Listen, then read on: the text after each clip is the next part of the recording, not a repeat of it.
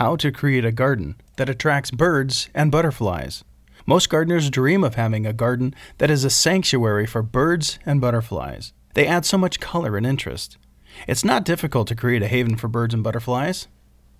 Birds. Not only are birds wonderful to look at, but they also feed on insects that are bad for the garden. Three elements will ensure birds come to your garden food, water, and cover. Plant trees and shrubs that provide berries, seeds, nuts, small fruit, and nectar, and the birds will come.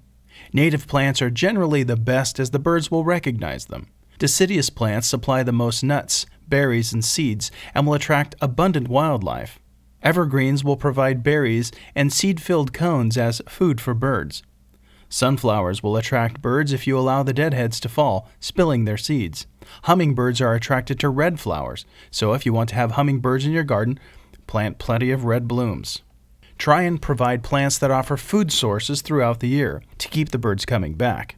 Provide places for cover for birds, and if possible, reduce the size of your lawn. Lawn looks unfriendly and bare to birds, offering no food or shelter. So you may wish to have a bird feeder in your yard filled with seeds purchased from the nursery. Don't forget a water source for your birds. Shallow pools, such as bird baths, are good. Butterflies. These beautiful creatures are welcome in any garden, but you need to accept their caterpillar state before you can expect butterflies. Attracting butterflies to your garden means offering food sources for caterpillars as well. Butterflies are attracted to the colors of white, purple, pink, yellow, orange, and blue. Plant your flowers so they get plenty of sun. Butterflies love the sun. Mass plantings are necessary as butterflies are short sighted. They'll be attracted to a vivid display of flowers. Butterflies love nectar rich blooms, especially the butterfly weed and butterfly bush. The black eyed Susan will also welcome butterflies, as will goldenrod, daisies, pansies, and verbenas. Butterflies like a flat, hot rock to rest on, and they also like muddy places to get moisture and minerals.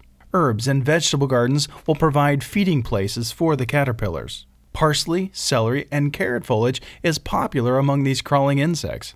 Perennial and annual flowers will provide food for caterpillars as well as wildflowers. Your garden will become a haven for birds and butterflies if you provide them with food sources, plenty of sunshine, shelter, water, and muddy places. Keep your garden free from insecticides, and these welcome flyers will help keep some of your insect pests at bay as well as giving you wonderful entertainment.